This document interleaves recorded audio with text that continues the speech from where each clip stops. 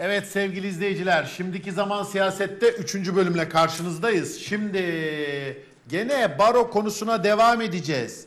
Ee, ya böyle bir şey olur mu sevgili izleyiciler? Türkiye Barolar Birliği Başkanı'yla Türkiye'nin dünyanın en büyük barosu İstanbul Barosu'nun başkanı şu anda şu saatlerde birbirlerine ya daha doğrusu şöyle İstanbul Barosu'nun başkanı TBBB başkanını yalanlıyor. Yani böyle ifadeler olabilir mi? Böyle bir şey olabilir mi? 80 baro adına konuşması gereken kişi 80 baro adına İstanbul Barosu başkanıyla şu anda polemik yürütüyor. İnanılmaz bir tablo. Yani kime inanacağız, kime güveneceğiz şaşırdık. Ee, Bülent Ben Turan'ın İstanbul özel Barosu- mesajı ben- var ama Barış'tan Barış'la başlayalım. Ben Başla. İstanbul Barosu Başkanı'na güveniyorum. Kime? Şu- Ha, İstanbul bak- Barosu ha. Başkanı'na Mehmet Durakoğlu'na çünkü Mehmet Durakoğlu tüm siyasi angajmanını bir kenara bırakarak Ankara Barosu'yla İzmir Barosu'yla 80 baro başkanını birleştirmeyi başardı. Mehmet Durakoğlu ile birlikte hareket eden hem mesleklerine hem de hukuka sahip çıkan tüm siyasi farklılıklarını bir kenara iten Ankara'da da hukuk için, anayasa için, adalet için, özgürlük için, mesleklerine saygı için direnen 80 baro başkanını da bir kez daha tebrik ediyorum. Ve bir daha söylüyorum Metin Feyzioğlu'nun bu 80 baro başkanını temsil etme yetkisi bitmiştir. Neden bitmiştir? Zaten 10 baro Metin Feyzioğlu'nun genel kurula gitmesi için gitti, dilekçe verdi. Metin Feyzioğlu MHP kurultayı gibi kendine uygun bir mahkemeden bu kararı iptal ettirdi. Şimdi Metin Feyzioğlu koltuktan indirilemesin diye yasayı değiştirdiler. 10 baro yerine 25 baronun imzası gerekli dediler. Ama Türkiye Barolar Birliği'nin genel kurulu yapıldı ve Metin Feyzioğlu oradan indirildi zaten. Nerede indirildi? Ankara'da o 80 Ha. baro başkanı sırtını döndüğünde aslında genel kurul. O, o bir genel kuruldu. Barolar Birliği'nin genel güzel, kurulu. Ankara'da yapıldı. seçenler.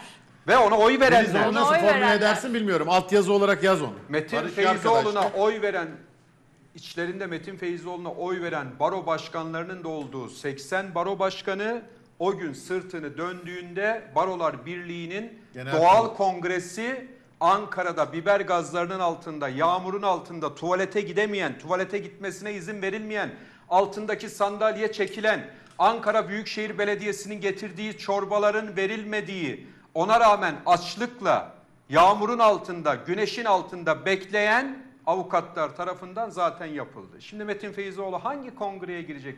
Metin Feyzoğlu senin kongren Ankara'da yapıldı. Sen koltuktan düştün. Bunu artık kabul et. Ne dediler sana o gün? Seni istemiyoruz. Gölge etme, başka ihsan istemiyoruz dediler.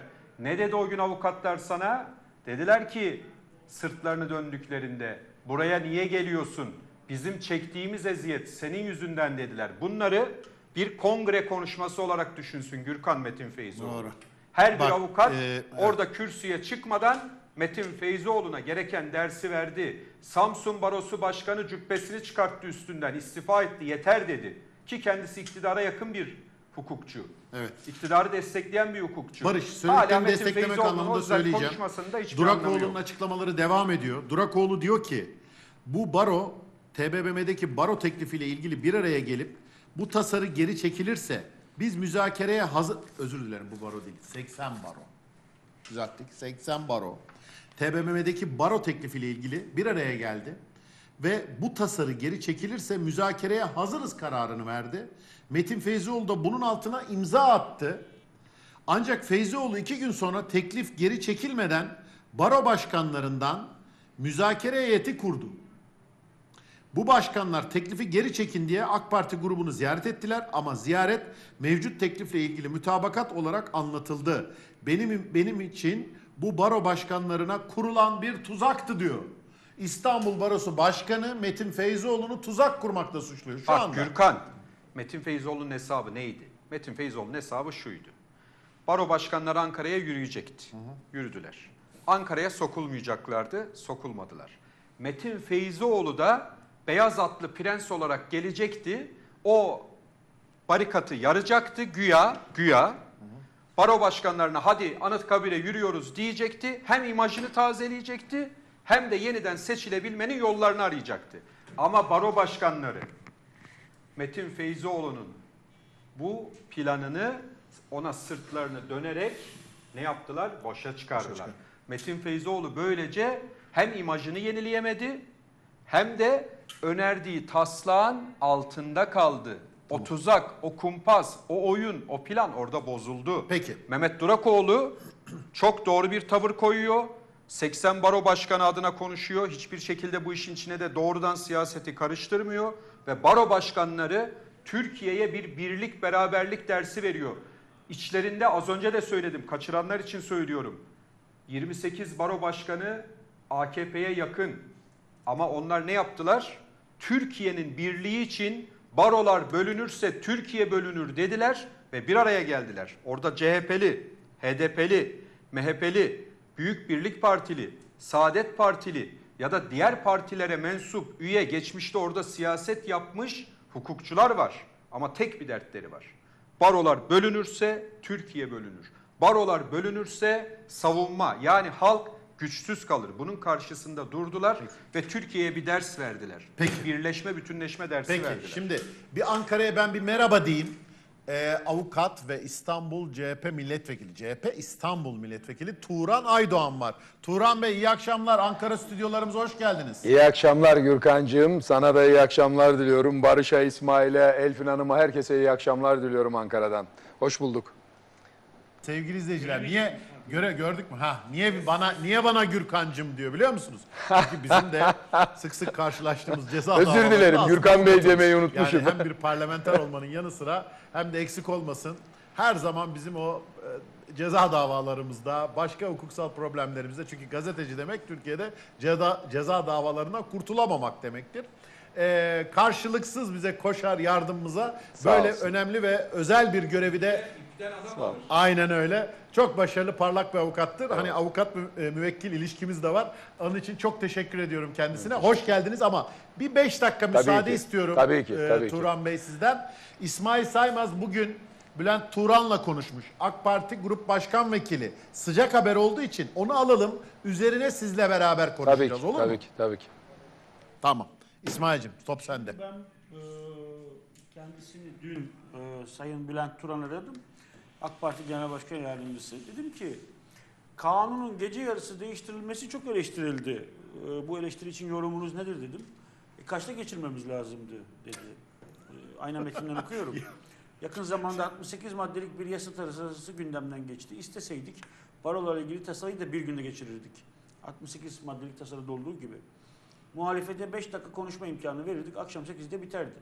Hayır biz isteyen konuşsun dedik. 4-5 gün boyunca istekleri kadar konuştular. Baro başkanlarının davet edilmemesinden eleştirildiğini sorduğumda şöyle dedi. Edilebilirdi ama komisyon başkanlığının takdiridir. Pandemi nedeniyle böyle karar verdi. Ben şahsen baro başkanlarının gelmesi için emek verdim. CHP'lilerle konuştum. Hepsi değilse de 3 baro başkanı gelsin dedim. Bunu reddettiler. Temsilci olarak gelsinler dedik. Olmaz dediler. 78 baro başkanı reddettiği tasarıyı yasalaştırmak antidemokratik değil midir diye sordum. Dedi ki yasama faaliyetini vekiller yapar. Dünya örneklerine bakılır buna göre karar alınır. 78 baro başkanının karşı çıkması yasa faaliyetine engel değildir. Ayrıca İstanbul Barosu'nun mevcut yönetimine oy vermeyen 42 bin avukatın bir kanaati yok mu? Baro başkanı karşı ama 8 binini temsil eden bir başkan karşı. Şu an barolardaki tahakkümü kırmak gibi bir derdimiz var. Baro başkanlarının karşı oluşu üzerine bakarsak hiçbir kanunu çıkaramayız. 42 bin avukatı ne yapacağız? Tüm avukatlar karşı diyemeyiz ki. Biz Anadolu barolarının başkanlarıyla görüşüyoruz. Bunlar önemli bir kısmı kendi illerindeki sola yakın duran arkadaşlar kırılmasın diye yürüyüşe, katıldı. Ya bir dakika orayı bir daha okur musun ya? Bir saniye. Bunların önemli, Anadolu Baro çok önemli komik bir kısmı ya. kendi Gerçekten illerindeki sola yakın arkadaşlar kırılmasın diye yürüyüşe katıldı. Oturup konuştuğumuzda bize hak veriyorlar. Bunların karşı çıkması için bir gerekçe yok. Bir insan birisi kırılmasın İstanbul- diye yürür mü ya? İstanbul, Ankara ve İzmir baroları tüm avukatların %15'ini oy alıyor ama delegenin %65'ini gönderiyor. Eğer baro başkanları o bildiriye imza attıysa TBMM önündeki eyleme niye gelmediler? Kapıda 20-25 başkan vardı diyor. Bu düzenleme ile PKK'nın da baro kuracağı ifade ediliyor. Siz ne diyorsunuz diye sorduğumda kursunlar. CHP'nin arkasına saklanıp yapacaklarını kendi kursun. Zaten CHP'nin arkasına saklanıp yol yürüyorlar. Yasal olarak bu hakkı varsa neden çekiniyoruz ki? Adam zaten avukatlık yasasına aykırı bir fiili varsa yargılanacaktır. Ee, herkes zorunlu bölünme var diye düşünüyor. Ben de diyorum ki zorunlu bölünme yoktur. Biz partileri gezdiğimizde bir parti İstanbul'da Anadolu ve Avrupa yakasına göre bölünme olsun, baro olsun dedi. Bir başkası İstanbul'da 3 adliye bölgesine göre, Çağlayan Kartal Bakırköy'e göre baro kurulsun dedi. Bu durumda zorunlu olacaktı. Biz zorunlu bölünmenin önüne geçtik. Akıllı başkan diyecek ki bölünmeyelim AK Parti'nin ülkücüde temsil edilsin. Şu anki baro başkanları beni temsil etmiyor deyince 42 bin avukata baro kurma hakkını veriyoruz. Ben de dedim ki neden 5 bin avukatı e, geçen yerlerde 5 bin değil de 2 bin imzaya ihtiyaç duydunuz? Çünkü her yerde 2000 AKP. Ee, AK Partili avukatlar ancak bu kadar oy toplayabildiği için mi diye sordum. Dedik ki öyle olsa rakamı bine indirirdik. Ankara ve İstanbul rahatlardı. Ben mesela her 3000 avukatın imzasıyla her 3000 avukatı geçen yerlerde 1000 avukatın imzasının yeterli olmasını Ya Bülent Turan bir dakika bir tek dakika tamamlayın. lafını unutma da. Hayır ben değil onun lafı. Hayır, zaten. hayır, tamam. Tamamlayayım. Ya adam görüş kesilmesin. Öyle olsa diyor biz rakamı 2000 değil 1000 yapardık. Ankara ve İstanbul rahatlardı. Ben mesela her 3000'in üzerinde avukatın olduğu yerlerde 1000 imzayla baro kurulmasını savundum. Bir kısım arkadaşlar ise tüm illerde %10 dedi. Buna karar kıldık. FETÖ projesi iddiasına yorumunuz nedir diye sorduğumda FETÖ projesi dedikleri liberal düşünce topluluğunun raporunda barolar kapanıyor, malları bakanlığa devrediliyor. İsterse 2000 kişi baro kuruyordu. Bizim tasarımımızla bu aynı değil. Peki Barış dur. Hemen Turhan Aydoğan'a dönelim sıcağı sıcağına. Turan Bey, İsmail Saymaz Bülent Turan'dan açıklamaları, özel açıklamaları e, anlattı. E, neler söyleyeceksiniz? Bülent Turan'ın diyor ki yani özellikle bazı barolar diyor solcu arkadaşları kırılmasın diye yürüdüler diyor. Buna ne dersiniz? Başta bu olmak üzere diğer açıklamalarına. Şimdi bunu ben e, Barış'tan öğrendiğim önüme not alma olayı var. Barış orada yapıyor, ben de ondan öğrendim. Bunu önüme not aldım zaten. Sormasan da yanıtlayacaktım, sormasanız da. Şimdi e, Bülent Turan'ın dünyadan haberi yok. Dünyadan haberi olsaydı bu yasa teklifi tartışıldığında barolar yürürken çıkıp ortada yasa masa teklif yok niye yürüyorsunuz diye açıklama yapmazdı. Bülent Turan amiyane tabirle zurnanın son deliği tarifine girer artık politik hayatta. Nedenini soracak olursanız söyleyeyim. Türkiye'de artık bir monist tekçi rejim var. Bu rejim ne bakanları, ne parlamenterleri, ne grup başkan vekillerini tanımadan bu işleri yapıyor. Ha derseniz ki nereden çıkardım bunu? Söylüyorum. Bu teklif parlamento gündemine gelmeden birkaç gün önce Adalet Bakanı'na sorulduğunda Adalet Bakanı yok böyle bir teklif demişti. Bülent Turan da yok böyle bir teklif avukatlar neden yürüyor demişti. Ama ilahi bir zar atar gibi yukarıdan aşağıya 7-7 bir zar düştü. Sayın Cumhurbaşkanı dedi ki hayır ben sarayda bu işi yapıyorum kardeşim. Teklif var ve çok kısa sürede parlamentonun önüne gelecek.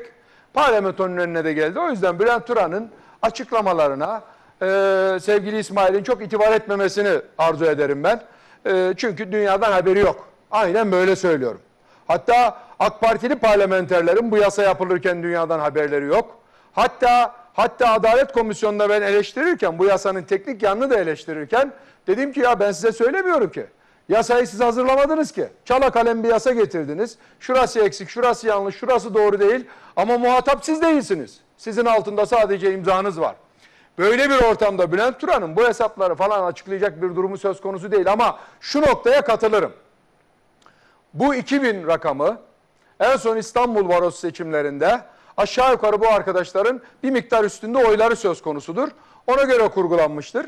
Başka bölgelerde de İzmir'de tutturabilirler mi bilmiyorum. Ankara'da milliyetçi avukatlarla bir araya gelerek, İzmir'de bu şartları zorlayarak üç büyük el- e, ilde bir baro kurma maksatlarına yönelik bir şeydir. Şimdi izin verirseniz bu monist tekçi sistemden biraz bahsetmek istiyorum. Türkiye'nin başındaki bela budur.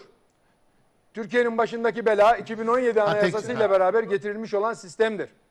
Bu sistem şu anda tıkır tıkır işliyor ve kaynağı nereden olduğu belli olmayan yasalar patır kütür Türkiye Büyük Millet Meclisi'nin e, gündemine getiriliyor ve Türkiye Büyük Millet Meclisi gündeminden de meclisin bütün manevi şahsiyeti tezyif edilerek parlamento yokmuş gibi bir anlayışla tarif edilerek çıkarılıyor. Bu yasa için de aynı şeyler oldu. Sayın Cumhurbaşkanı bu yasa Adalet Komisyonu'na gönderildiğinde ne komisyon çalışmalarını ne parlamento çalışmalarını beklemeden şu kadar sürede çıkacak diye tarif yaptı.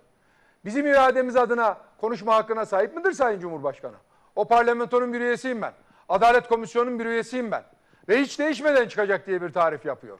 Maalesef ve maalesef kalemine ucuna virgülüne... miyim? Turan Bey bir saniye İsmail Saymaz'ın Ulusal bir kanalda yangın çıkmış. Tam Vatan Partisi Genel Başkanı Doğu Perinçek'in canlı yayında olduğu sırada Binada yangın çıkmış. Geçmiş bina olsun acilen efendim. boşaltılmış. Geçmiş olsun diyorum. İstiklal Caddesi'nde biliyorsunuz. İstiklal Caddesi. Gö- görü- görüntü varsa görüntü varsa onu da bulalım Deniz. Sabahleyinde kardeş kanalımız Tele1'de bir ya- e, Evet. yangın çıktı. Tele1'deki yayın yüzünden de yaklaşık 3-4 saat yayın Ama sonra, yapılamadı. e, yayına geçtiler. Sonra evet e, Geçmiş olsun Gerekli müdahaleler buradan. yapıldı. Merdan Yanardağ başta Evet. olmak üzere Tele1'e de tüm buradan Tele1 Tele1 ekibine çalışanlarına, geçmiş olsun. ekibine, Geçmiş olsun emekçilerine efendim. geçmiş, Geçmiş olsun olsun. diyoruz Geçmiş yangından olsun. dolayı. Evet. Buyurun Turan. Bey. Nedir burada yürünülen yol? Bu yasayı tek başına düşünmememiz gerekiyor. Bu yasayla beraber mesela sizin kanallarınıza verilen cezaları düşünmemiz gerekiyor. Haksız, hukuksuz yani ses kesmeye yönelik saldırganca tavır ki Halk TV benim görmüş olduğum son yıl e, son zamanlarda sadece belli bir görüşü değil birçok görüşü sahaya sürecek yayınlar yapıyor. Harika işler yapıyor ve müthiş bir reyting yakalamış. Bu saldırıların temelinde bunlar gözüküyor. Şimdi bu var. Bunun yanında ne var? Bakın Türkiye Büyük Millet Meclisi'nde İçişleri Komisyonu'ndan çıkartılmış olan şu anda yasalaşması beklenen güvenlik ve arşiv kaydı ile alakalı yasa söz konusu. Bunun yanında ne var? Bekçi yasası geçti. Daha gördünüz dün bir avukat 15-20 bekçi tarafından eee, dövüldü ve daha sonra çeşitli isnatlarla beraber haksız duruma düşürülmeye çalışıldı. Bunun yanında neyi konuşuyoruz? Sosyal medyanın sesinin kesilmesini konuşuyoruz. Yani Türkiye'de ayakları artık yere sağlam basmayan bu tekçi iktidar oy kaybına uğruyor ve biliyor ki mağdur ettiği kitleler tarafından en çok da hukuka sahip çıkacak olan, insan haklarına sahip çıkacak olan barolar tarafından önüne eleştiriler koyulacak, duruşlar koyulacak ve ses kesmenin yolunu bu yasaları canı pahasına çıkarmayla o yolu kapatmaya, ses kesmeyi sağlamaya çalışıyor. Bu topyekun bir projedir.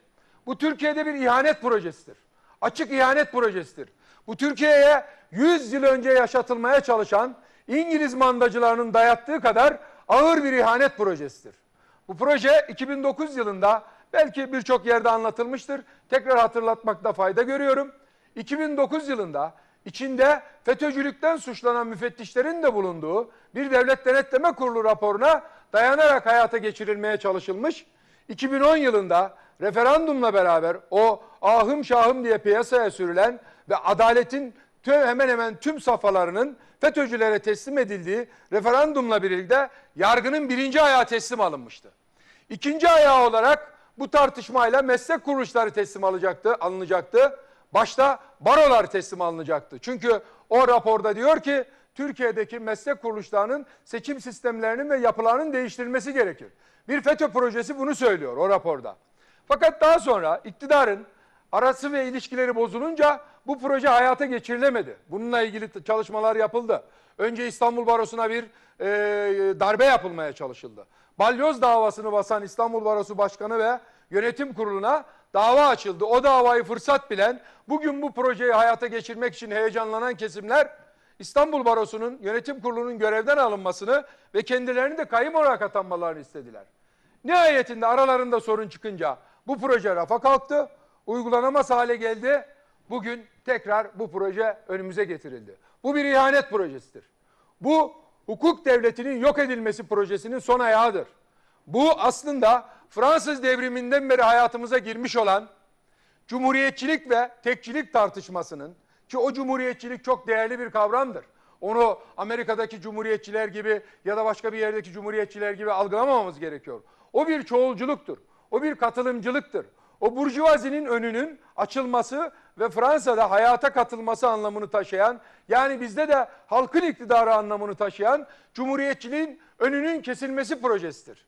Bunu nereden çıkarıyorsunuz derseniz, hafif hukukçuluk yapacağım ben size. Siyasetçiyim ama onurla taşıdığım o sizin de hukukçuluğunuzu yapma anlamında bir ufak hukukçuluk yapacağım.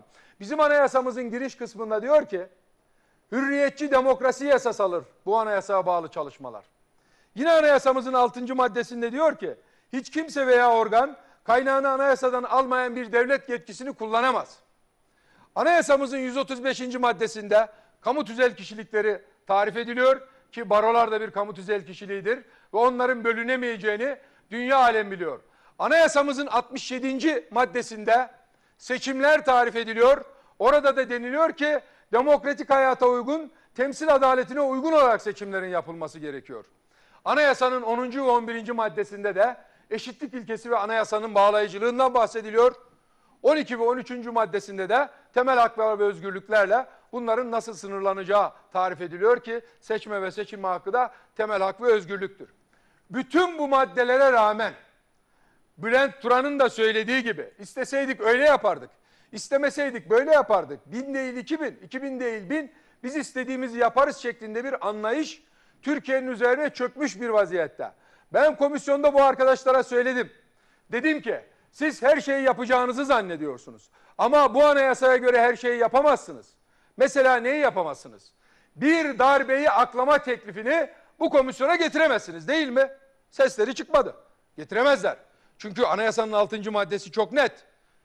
Hiç kimse anayasadan bir yetki almıyorsa onu kullanamaz. Anayasanın ikinci maddesi hukuk devletini tarif ediyor. Giriş kısmı hürriyetçi demokrasiden bahsediyor.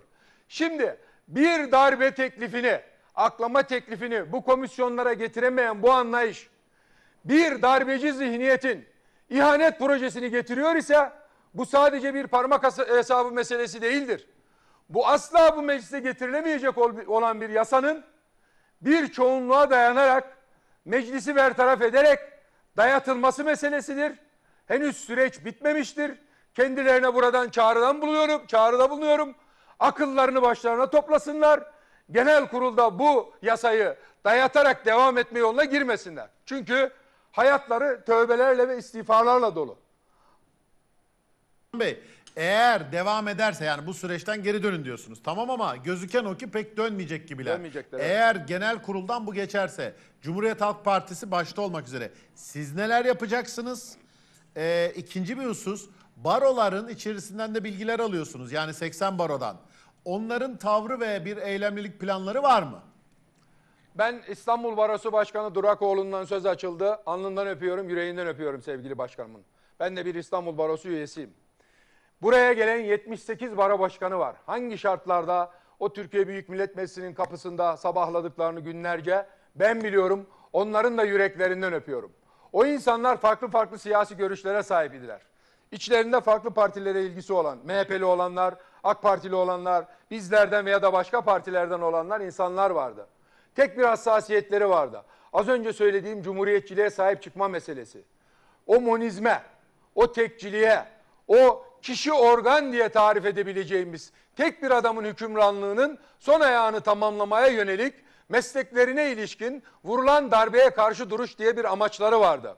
Buradaki mesele sadece bir mesleki mesele değildir Gürkan'cığım, sevgili kardeşim. Buradaki mesele bir devlet meselesidir. Bir yönetme meselesidir. Bir yöntemsel olarak tercih meselesidir. Türkiye'nin yürüyeceği yolun tercihi meselesidir. Bu meseleyi sadece avukatların özlük hakları ya da mesleki meseleleri olarak algılayamayız. Avukatlık Kanunu'nun 76. maddesi hukuk devletinin, hukukun üstünlüğünün, insan haklarının korunmasından bahser. Bu yasayı getirenler yasanın gerekçe kısmına bunu şerh etmemiştirler. Açıkça amaçları bellidir.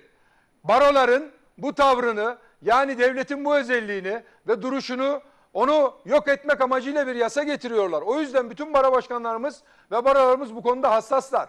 Örneğini vereyim. Bakın en küçük baro bile ben bu işten karlı çıkıyorum diye bakmıyor. Rize Barosu, Tunceli Barosu, işte Gümüşhane Bayburt Barosu böyle bakmıyor. Büyük paralara göre bana avantajlar getirmişler sayısal anlamda. Hayır, hukuk devleti diye bakıyor. İnsan hakları diye bakıyor. Hukukun üstünlüğü diye bakıyor. O yüzden bu yola devam edeceğiz. Bu yolu bırakamayız. Bu yolu bırakırsak bu ülkenin anayasal, yasal ve bütün background'undaki kazanımlarını terk etmiş hale geliriz. Bu yasaya karşı genel kurulda gerekli mücadeleyi vereceğiz. O genel kurul tutanaklarına şerh edilmesi gereken her şeyi şerh edeceğiz. Buna rağmen bir aymazlıkla, bir vurdum duymazlıkla, bir çoğulcu ve baskıcı mantıkla beraber bu yasa Türkiye Büyük Millet Meclisi'nden geçirilir ise biz yasayı Anayasa Mahkemesi'ne getireceğiz. Ama barolar bağımsızdırlar, siyasetten aridirler. Onların hangi yöntemlerle bu yasayı hayata geçirmeyi engellemek amacında yol yürüyeceklerine kendileri karar verirler. O anlamda siyasetin dahili altında değildirler. İstanbul Barosu Başkanlığı'nda bu anlamda verecek olduğu karar barolarla beraber baro üyesi olarak beni bağlar. Onlar adına buradan bir siyasetçi olarak tarif yapamam. Ama biliyorum ki durmayacaklar. Çünkü varlıklarını inkar eden bir yasayla karşı karşıyalar. Açıkça bir ihanet yasasıyla karşı karşıyalar. buna cevaz vermeyeceğiz. Şu sıralarda bir başka kanalda yayında olan Metin Feyzoğlu'nun açıklamaları da var. Biz sıcağı sıcağına onları Nazan Hanım'a sorduk. Size de şimdi benzer so- soruyu sormak istiyorum. Çünkü açıklamalarda peşi sıra devam ediyor. Durakoğlu da onu e, yalanlar nitelikte açıklamalar yapıyor. Peşi sıra eş zamanlı olarak. Şimdi Feyzoğlu diyor ki ben diyor Adalet Bakanı'nın uzatılan elini geri mi çevirseydim? Birilerinin bu teması yürütmesi lazım. Yoksa ilişkiler kopar herkes zarar görür diyor. Bir kere buna nasıl e, bir cevap vereceksiniz? Bir. İkinci bir husus Adalet Komisyonu'na biz Barolar Birliği olarak gönderdik bir üye diyor. Benim gitmem doğru olmazdı oraya diyor. Buna ne diyeceksiniz?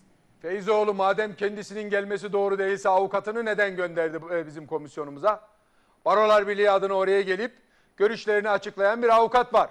Barolar Birliği adına katıldı. Bütün meslektaşlarımız da orada eleştirdiler. Yüreği yetiyorsa buraya Feyzoğlu gelseydi dediler. Bir hanımefendi çok kıymetli bir hukukçu kardeşimiz geldi Barolar Birliği'nin görüşlerini orada söyledi. Feyzoğlu eli uzatsa mıydı uzatmasa mıydı? Feyzoğlu kendisine tokat alan, atan eli öpen bir adam. O yüzden Fevzioğlu'nun el, dudak, bakış, sıkma ilişkilerini biz değerlendiremeyiz. Fevzioğlu hakaretten zevk almış demek ki. Kendisine ağır hakaretler yaptı Cumhurbaşkanı bir adli yıl açılışında. Daha sonra kapısını aşındırmayı adet haline getirildi. Hatta iddia odur ki bu yasanın katibidir. Bu benim iddiam değil. İddia edilir ki bu yasanın katibidir kendisi. Ben bir siyasetçiyim. Bir kurumun başındaki kişiyi yıpratmayı doğru bulmam. Ama Feyzioğlu kendi kurumunu o kadar çok yıprattı ki 80 baro başkanı kendisine arkasını döndü. Feyzioğlu'nun yüzünde şu kadarcık bir insancıl duruş söz konusu olacaksa o 80 baronun ona arkasını dönmesinden sonra o görevi yapmaması gerekir. Demokrasi kriterleri bunu gerektirirdi. Fevzioğlu oraya asılmış devam ediyor olabilir. Fevzioğlu'nun söyledikleri bizi bağlamaz. Biz 80 baro başkanıyla muhatabız. Onların taleplerini karşılamaya yönelik olarak onlarla yürek birliği yapıyoruz şu anda. Fevzioğlu bulunduğu konumda bir işgalcidir. Bir işgalcinin sözleri bizi bağlamaz. Fevzioğlu'nun bakanla görüşmesi ya da bir başkasının o tarihte bakanla görüşmesi aslında orada 27 saat boyunca eziyet edilmiş, aç bırakılmış, susuz bırakılmış, saldırganlığa maruz kalmış, hakaretamiz ifadelere maruz kalmış, hukuk bilmeyen bir polis tarafından darp edilmiş ve eğitilmeye kalkılmış olan baro başkanlarına yönelik bir hakarettir. O baro başkanları siyaset çizgisinin kendilerinden ari kalmasını, onların kendi haklarını savunabileceklerini ilettiler bize. Feyzoğlu'nun yaptığını Sayın Bakan'la bizler de yapabilirdik. Biz bu parlamentonun parçalarıyız. Ama bir ulufe devletinde yaşamadım, yaşamak istemiyoruz. İnsanların anayasadan kaynaklı seyahat hakkı, fikir özgürlüğü hakkı vesaire gibi haklarını kullanırken bir bakanın iki dudağının arasına lütfa dönüştürülmüş sisteme karşıyız biz zaten. O baro başkanlarının haysiyetiyle oynayan kişilerden birisidir Fe- Feyzoğlu. O yüzden konuşmalarını ben dinlerim ama benim açımdan bir değeri yok. Bizim muhatabımız sokakta eylem yapan avukatlardır. Hakları elinden alınan Türk halkıdır. Hatta bu ülkede yarın yargılanırken avukatının cendere altına alınma ihtimali olan bu ülkenin muhatabı olabilecek yerli yabancı herkestir. Bütün dünya halklarıdır. Bu anlamda bakıldığında Feyzoğlu'nun söyleyeceklerine benim itibar edebileceğim herhangi bir şey yoktur. Sayın Turan Aydoğan çok teşekkür ediyoruz efendim. Ee, Ben teşekkür ediyorum. Çok zorlu bir mücadeleniz var. Başarılar diliyoruz. İyi Ee, yayınlar Kolay diliyorum. gelsin diyorum. Sevgili arkadaşlarıma iyi akşamlar diliyorum. Sağlıcakla kalsınlar. Efendim sağ olun, sağ olun, sağ olun. Ya böyle bir şey olabilir mi? Şimdi eee, Elfin Tataroğlu, herkes karşı bir Barolar Birliği Başkanı'na ama o halen bir özgüven içerisinde ya ben ne yapsaydım, elini mi tutmasaydım, uzattılar, uzattılar. Ya baro başkanları açıklama yapıyor, yalanlıyorlar. Ondan sonra canlı yayındayken açıklamalar birbiri ardına geliyor, yalanlıyorlar. Eee, daha da ileri gidiyor İstanbul Baro Başkanı, bize tuzak kurdu diyor. Ya böyle bir Barolar Birliği Başkanı nasıl oturacak o koltukta? Gürkan Bey aslında Barolar Birliği Başkanı kendine de karşı. Çünkü kendisi, hayır şimdi kendisi diyor ki ben de savunmuyorum bu tasarıyı diyor. Az evvel siz okudunuz. Doğru. Habertürk'te ne Doğru. demiş? Ben de karşıyım bölünmesine.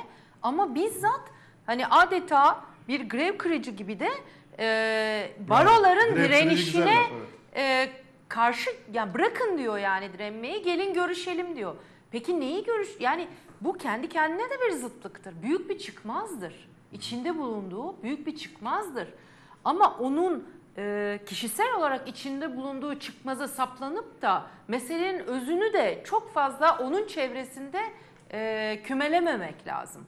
Yani mesele Türkiye'yi ilgilendiren, mesele halkın savunma hakkını ilgilendiren, e, mesele bizzatihi bu ülkede haksızlığa uğrayan ve her an yani bu gece başınıza aniden bir şey gelebilir ve aniden barodan bir e, avukatın savunmasına ihtiyaç duyabilirsiniz. Aniden sizin baroların e, tarafsız bir biçimde hangi siyasi görüşe, hangi sosyal sınıfa ait olursanız olun savunma ihtiyacınızı karşılayacak bir güce ihtiyacınız olabilir. Bu gece olabilir, bir saat sonra olabilir, hepimizin olabilir. Mesele dolayısıyla Feyzoğlu'nun çok daha üstünde, çok daha büyük bir meseledir. Ayrıca gelinen noktada e, Barolar Birliği Başkanı'nın kendini dahi e, seçtiremeyecek bir düzen içerisine girdiği bir sonuçla da karşı karşıyayız. O da ayrı bir çıkmazıdır kendisinin. Ben şu anda ee, özellikle de meclisteki e, bu görüşmeleri, bu tasarının gelişini ve süreci aslında 2012'deki 4 artı 4 artı 4 Ha, doğru. eğitim sisteminin çıktığı günlere benzetiyorum. O günleri de hatırlayalım. E, mecliste büyük bir direniş vardı. Komisyonda sabahlara kadar milletvekilleri yerlerde oturuyordu ve adeta orada uyuyorlardı, orada kalkıyorlardı. Bu 4 artı 4 artı 4 sisteminin yani zorunlu 8 Melese değil çocuklar 8, mesele.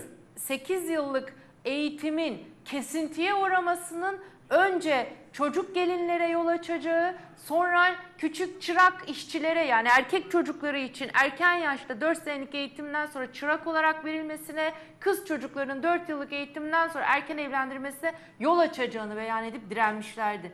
Ne yazık ki bu eğitim sistemine bu darbe o gün vuruldu.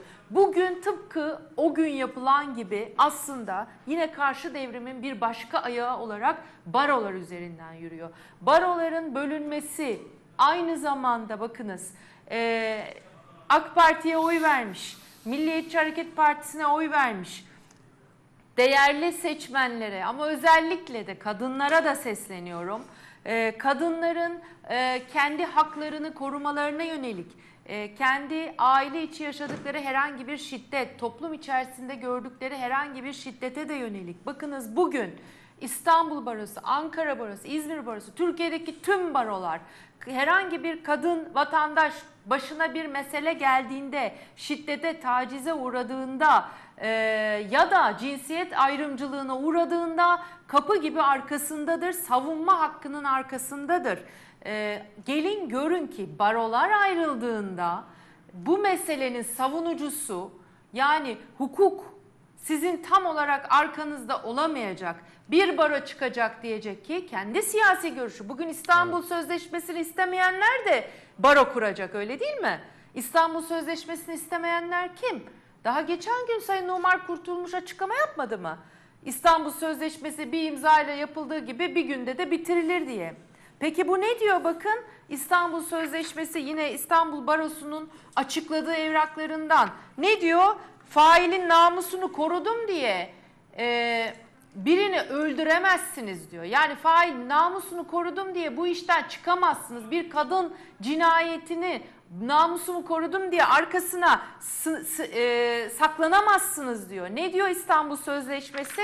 Zorla gerçekleştirilen evliliklerin iptalini sağlayabilirsiniz diyor. Siz şimdi bunu Anadolu'ya götürün, zorla evlendirildiğinizi düşünün ve İstanbul Sözleşmesi'ne karşı bir baro düşünün. Belki sizin hakkınızı savunacak bir baro dahi bulamayacaksınız o gün geldiğinde. Ve eğer ki ailede şiddete uğrayan bir e, çocuk var ise yine İstanbul Sözleşmesi o çocuğun haklarını koruyor Gürkan Bey.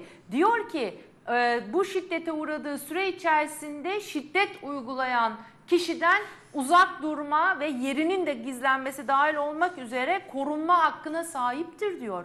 Belki yarın bir gün barolar bölündüğünde çocuğunuzun başına bir iş geldiğinde, e, sizin başınıza bir iş geldiğinde şiddete maruz kaldığınızda arkanızda duracak bir güç bulamayacaksınız. Peki. Bu çok önemli. Peki İsmail Saymaz böyle bir şey gördün mü sen hiç? Bu kadar e, bir sivil toplum kuruluşu, bu kadar yaygın, örgün bir si- sivil toplum kuruluşunun bütün üyeleri başkana karşı olduğunu gördün mü? Ya mesela Yok. sendikalarda gördün mü böyle bir şey? E, orada sendikalarda düşüyorlar yani. Öyle çok e, sendikada uzun uzadıya olmuyor o işler. Düşüyorlar. Sendikada Düşüyorlar ben- derken şeyden görevden gidiyor yani. E, öyle mi? yani gidiyor, devrilip gidiyor yani. Bu herhangi bir yerde bunun bir örneği yok. E, şimdi ben e, Sayın Metin Feyzoğlu'yla görüştüm. Diğer çevrelerle de görüştüm. Yeni mi? Benim- Gene, gene mi görüştün? Yok yakın zaman en, en son görüştüğümde de. E, o şöyle demişti ya ben de çoklu baroya karşıyım ama ben müzakere yolunu benimsiyorum.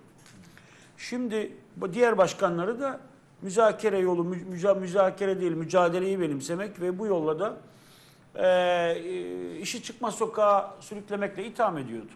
Bir an için diyelim ki mücadele yolunu benimseyenler e, bu, bu, bu yolla e, herhangi bir şey önleyemediler ve yenik düştüler. E, peki mücadele edenler ne kazandılar? Değil mi? Yani e, yet- 80 barodan 78'i aynı metne imza attı.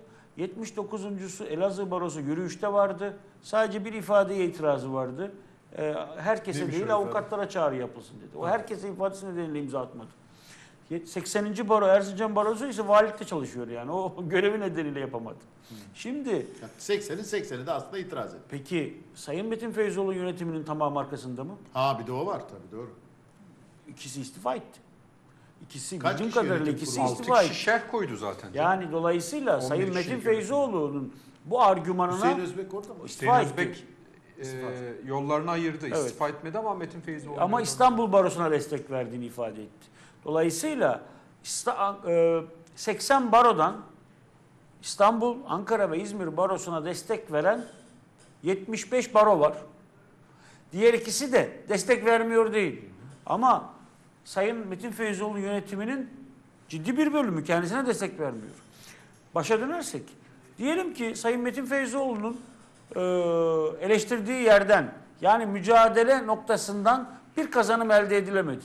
Peki onun müzakere yoluyla elde ettiği, müzakere yoluyla sürdürdüğü çabadan ne sonuç elde edildi? Benim bildiğim kadarıyla e, Metin Feyzoğlu çoklu baroya karşıydı ve illerin her birinin e, birer delegesi olma sistemine karşıydı. Yani normalde şöyle oluyor. E, galiba 300 delegesi olan bir üye veriyor. Şimdi bu 5000'e çıkarılacak. Dolayısıyla 5000'e kadar bütün iller eşit olacak. Buna da karşıydı. Diyordu ki ya İstanbul'la aldığımız bütçe Bayburt Gümüşhane bürosuyla aynı mı canım diyordu. Şimdi ama neye taraftardı? Nispi temsile taraftardı. Yani herkes verdiği oy nispetinde yönetimde ve kurullarda temsil edilsin. Tam da Metin Feyzoğlu'nun itiraz ettiği şey geçti. Yani ne nispi temsil kabul edildi. Metin Feyzoğlu bunu istiyordu. Ne de e, Metin Feyzoğlu'nun karşı çıktığı şey engellenebildi. Metin Feyzoğlu diyor ki çoklu baroya karşıyım, çoklu baro oluyor. Metin Feyzoğlu diyor ki il, e, delege sayısının 5000'e çıkarılmasına karşıyım, tam da o oluyor. Metin Feyzoğlu diyor ki nispi temsili düşünelim, o olmuyor. Dolayısıyla burada gelişmeler karşısında haksız duruma düşen Metin Feyzoğlu'dur. Metin Feyzoğlu belki dün ölçeğinde bir, bir nebze haklı olabilirdi. Yani efendim mücadele değil, müzakereyle bunu değiştirebiliriz demişti. Fakat gördük ki müzakere ettiği heyetin gözünde Metin Feyzioğlu'nun yahut onun taleplerinin mücadele edenden bir farkı yok. Aynı bakıyorlarmış yani. Metin Feyzoğlu görüşse de birmiş, görüşmese de birmiş. Metin Feyzoğlu dilini yumuşatsa da birmiş, yumuşatmasa da birmiş. Çünkü AK Parti'nin ve MHP'nin hazırladığı bu tasarının Metin Feyzoğlu ile görüşmek gibi bir e, önceliği ya da arzusu da yokmuş. Metin Feyzoğlu ile geçirilen vakit, hoş vakit aslında Boş e, bunun işte kamuoyu nezdinde bakın bir kısmıyla da görüştük demek için yapılmış bir görüşmeymiş. O nedenle Metin Feyzoğlu bu süreçte niyetinin e, yahut arzularının hilafına onlara rağmen bence sürecin sosuna dönüşmüştür. Ve kendi yönetiminin de desteğinin arkasına alamayarak e, şu hale hazırda e, desteğini kaybetmiş bir Barolar Birliği başkanıdır. Sadece teknik anlamda Barolar Birliği'ndeki oy meselesini söylemiyorum. Yani bugün 2021'de olacak Barolar Birliği Genel Kurulu bugün olsa Metin Feyzoğlu'na 80 barodan destek verecek olan oraya imza atmamış iki baro bile olmayabilir. Bakın çok çünkü e, vaziyet durumu ortaya koyuyor. O nedenle bugün seçime girse Sayın Metin Feyzoğlu kaybeder. Ben de bu görüşteyim. İkincisi çoklu baro uygulamaya konduktan sonra da Metin Feyzoğlu Bir kaybeder. de bir şey daha söylemiş şimdi. Demiş ki çoklu baro anayasaya mahkemesinden geri döner. Bana göre anayasaya aykırı demiş. Zaten diyor bunu. Ondan sonra ben kimseye yakın değilim. Kurumsal ilişki kuruyorum. Ee, demiş hükümetle yakın mısınız sorusu. Tamam ama burada Metin Feyzoğlu ne diyor? Efendim e, Cahit Özkan çoklu barayı savunuyor. E, diğer grup başkanı, grup başkan vekili itiraz ediyor. Ya burada bir bu tasarının kendisinin kendisi AK Parti'nin iki grup başkanının vekilin iradesini aşan tasarılardır. Ya bilmiyordu ki haberleri bile. Yani yok. AK Parti'nin iki vekilinin buradaki tek tarihsel rolü onu savunmaktan ibarettir. Onu hazırlamakla ilgili bir tarihsel rolleri yok. O nedenle ben bunu dikkate değer bulmuyorum. Şunu söylüyorum. Metin Feyzoğlu bu, bu tasarı geçtiği anda bunu engelleyememiş bir Barolar Birliği Başkanı'dır. Üstelik arkasına barolar desteğini de alamamış bir Barolar Birliği Başkanı'dır. Bu nedenle bence durum onun da pozisyonunu gözden geçirmesini gerektirir. Yahut istifasını gerektirir. Çünkü hem Etmi- etmeyeceğim. hem ama ama o zaman hayat tarafından düşürülür yani. Hayat onu düşürür. Çünkü hem baroların barolar, baroların başkanlarının desteğini kaybetmiştir. Hem de arzu başkanların desteğini ve avukatların desteğini kaybetmek pahasına. Hükümetle girdiği müzakereyi de kaybetmiştir. Yani orta cephede de bir kazanım yok. En azından bunlardan birini kazansaydı yani karşı çıktığı iki maddeden birini kazansaydı. Peki bunca zamandır kimi başkanlarını da yanına katarak Sayın Feyzoğlu hangi kazanım elde etti? AK Parti'den AK Parti'de AK Parti Metin Feyzoğlu'nun e, yüzü suyu hürmetine neden vazgeçip şeyden vazgeçmedi ki? Görüşse de bir, görüşmese de bir. Yeşil pasaport aldı Şimdi dolayısıyla Sayın Metin Bütün avukatlar için değil mi? 15 yıllık. Sayın Metin Feyzoğlu'nun e, ben e, yani hocalık birikimi vardır, Ankara Barosu'nda bir mücadele birikimi vardır. Son süreçte tavır değişikliğine bağlı olarak belki fazla hücuma da uğramıştır. Bunlara bir şey diyemem ama Sayın e, Feyzoğlu ben dün olduğum noktadayım derse bence ikna edici olmaz. Yani onun kendi serüveninde de bir e, farklılıklar var ve şimdi aldığı tepkinin birazı da bundan ötürüdür. Fikirleri değişmiş olabilir. Bizim hepimizin hayatında değişen fikirleri var. Tabii, tabii. Bunu açıkça ifade etmek, samimiyetle bununla yüzleşmek gerekir. Peki. Sayın Feyzoğlu 3 yıl önce durduğu yerde değil. 3 yıl Üç önce yıl de orada önce- mı duruyordu acaba? Onu da 3 yıl önce ona destek verenler de bugün orada Sayın Feyzoğlu'nu arayıp bulamıyorlar. Peki. Barış bundan sonraki süreci bir biraz konuşalım. Şimdi, Şimdi- bundan sonra ne olacak? Genel kurula inecek Evet. değil mi? İki, önce iki avukat arkadaşımızın yazdığı notlardan kısa bir şey paylaşayım. Biri e, Türkiye Barolar Birliği'nin eski genel başkan adaylarından Cemal İnci, Yalova'da avukat. Bu dönemde sanırım Türkiye Barolar Birliği başkanlığına aday olmayı düşünüyor. Genel kurul yapılırsa. Cemal İnci diyor ki ben 30. genel kurulda aday olduğumda bu barolar krizinin çözülmesi için bir model önermiştim ve demiştim ki tüm avukatlar adliyelerde kurulan sandıklarda oy versinler, delegelik sistemini kaldıralım ve böylece bütün avukatlar gelip Barolar Birliği Başkanı'nı seçebilsinler ama bu o dönemde ne yazık ki diyor kabul görmedi. Hala bu delegelik sistemi üzerinden tartışılması doğru değil diyor Cemal İnci. Ortak arkadaşımız Rahim Yılmaz avukat, ceza avukatıdır biliyorsun iyi de bir ceza avukatıdır. Rahim Yılmaz da ki hukuk tarihinde çok iyi bilen, siyasi görüş olarak da e, sürekli dünyayı da takip eden bir arkadaşımız. O da diyor ki Barolar Birliği'nin bölünmesi, daha doğrusu baroların çoklu hale getirilmesi, baroların bölünmesi tam da Yugoslavya'nın bölünmesi sürecini çağrıştırıyor. İnceledim, okudum, baktım diyor. Bu tür adımlar Yugoslavya'yı adım adım bölen ne yazık ki diyor sürece Türkiye'yi götürüyor. Peki bir şey söylesem Ha. Barış tam bu arada. Sen şimdi Yugoslavya örneğini veriyorsun. Gene şeytanın avukatlığını yaparak sorayım. Ee, şimdi mesela geçen programda İsmail Saymaz dedi ki birisi gidecek dedi. Hatta bunun adı böyle olacak arkadaş dedi. Ben itiraz ettim. Hayır böyle olacak. Kürt barosu kuracak dedi. Adı Kürt barosu Kurabilir. olacak. Kurabilir. Öbürü AK baro. Zaten kuracak. başvurdular. Öbürü milliyetçi baro kurar. Öbürü sor. Peki. O zaman İçişleri Bakanlığı ya da ya da Adalet Bakanlığı derse ki kardeşim ben bu öbür baroyu kapattım.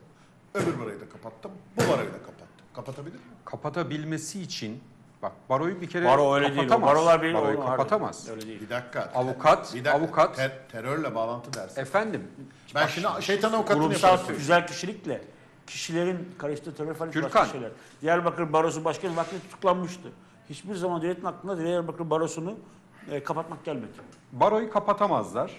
O fantazi olur. Ha tabii hukuk Hayır dev- as- aslında hedef bu mu Hayır acaba canım. dolaylı Hayır, olarak bak, gibi? bir Bu şey emniyeti kapatmak gibi bir şey canım öyle bir şey olmuyor. Ama beş tane Ama bir. Senin dediğin vakıf ve dernek de olabilir. Bak Arkadaşlar bu söylediğimi kulağınızın bir Bak, kenarına bir şey tabii tutun. tabii söyleyeyim, mümkün Gürkan. diyorum ben. bir şey söyleyeyim. Tabii, Devlet tabii.